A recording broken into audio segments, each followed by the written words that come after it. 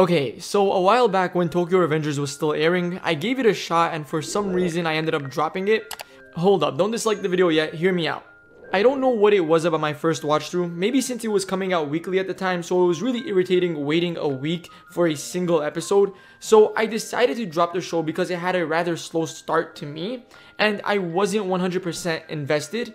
I don't exactly remember how deep I got into it, I think it was when Mikey and Draken showed up. And the thing is, I loved Mikey and Draken's characters, especially Draken. I, I loved Draken. But for some reason, I wasn't satisfied with the week to week wait. This is a show that I feel like needs to be binged. I think if you haven't watched Tokyo Revengers and you never watched it during the time it was airing, I think now is the best time to get into it because it is completed, or the season 1 is at least that was something holding me back. So yesterday I was like, you know what, I'm gonna give it a shot again. And this time I got to the same part where I got to last time and a little bit ahead, I feel like. And I was much more invested. When I first watched the show, I remember telling my friend the pacing in this show was rather slow and it's not like, I don't know, it doesn't pick up too well. And since it was a week to week show, it had a lot of cliffhangers, which just left a bad taste in my mouth. But binging this show, man, like I, realized I really love Tokyo Revengers. I don't know what it is about it. I don't know if it's the Tokyo Manji gang. I don't know if it's Mikey. I don't know if it's Draken. I don't know if it's Takemichi himself. I love the show, man. I really love the show.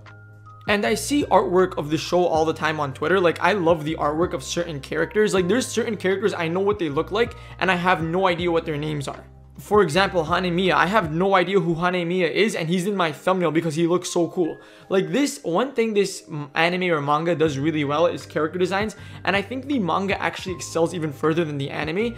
The difference in artistic style between the anime and manga, like where the in, in the manga, if you go and read it, the characters look a lot more slim and I don't know why I love that aesthetic. Like I see these characters constantly on Twitter and I'm like, yeah, that character looks cool. That character has a sick design.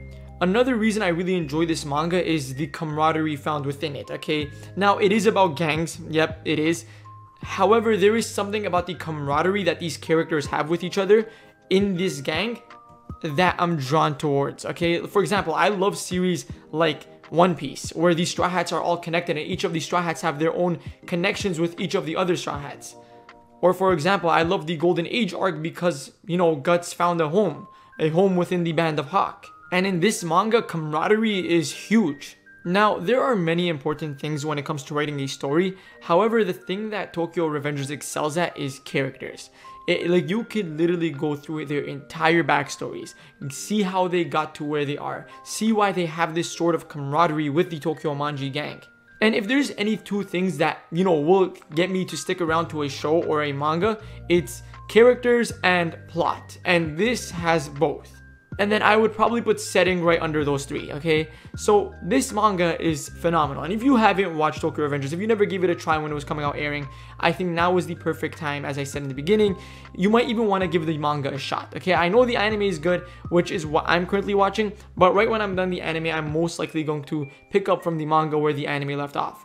Heck, I might even actually just drop the anime, which people are to get mad at me again because this is the second time I'm probably to drop it. But this time, instead of completely dropping the anime and not continuing with Tokyo Revengers, I might just drop the anime where I'm at and pick up from the manga just because I don't want to, you know, have to deal with the transition of transitioning from anime to manga. I would rather just go into it smoothly. So I think it might be best for me to just drop it right now where it stands.